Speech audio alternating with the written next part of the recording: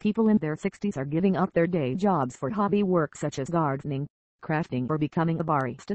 Research has found Prudential discovered that a fifth of people who are working past the state pension age are hoping to start a new business from a hobby, while 9% would think about continuing full-time in their existing jobs and said their reason for retiring later was because they couldn't afford to retire at 65, while others said they didn't want to as they enjoy the challenges that come with their careers. Prudential has found some people are delaying their retirement because they either don't want to retire early or can't afford it. The insurance company found people are now enjoying a phase of pre-retirement, i.e. earning money from their hobbies before retiring officially while earning money later on in life may seem like a daunting prospect, but due to the variety of careers that are available nowadays, older people are finding it easier to get work. Here are some examples of hobby work that you can earn from by delaying their retirement.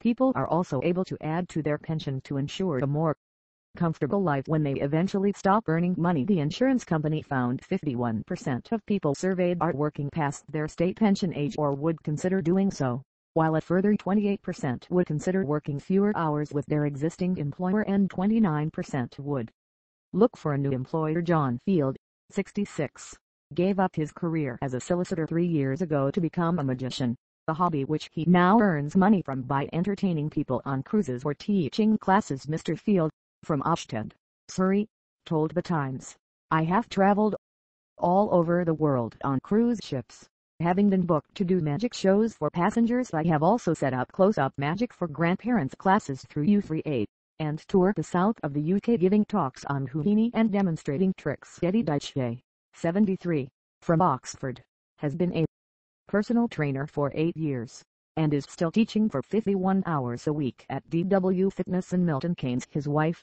Jill, 72, is an opera singer. Some people take part-time jobs in cafes, while others become personal trainers or exercise instructors. He previously told the Mail, On Sunday, will I ever retire? Only when I need a guide dog, a white stick and a Zimmer frame to get into the gym. I'd say 70% of my clients are over 60 which is proof it's the new middle age. I do think being an older personal trainer makes me more approachable.